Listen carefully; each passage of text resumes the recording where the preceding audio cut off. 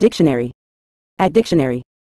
In a general sense, a bragger is an individual who frequently boasts or talks excessively about their achievements, possessions, experiences, or abilities, often with the intention of impressing others. Similar to a braggart or egotist, a bragger tends to exaggerate their accomplishments, sometimes to the point of self-promotion becoming a dominant feature of their communication style. This behavior can be perceived as seeking validation or attention from others. While occasional self-expression is normal, a bragger consistently draws attention to their achievements in a way that may be seen as self-centered or lacking in humility. The term is often used colloquially to describe someone who habitually engages in boastful or self-promotional behavior.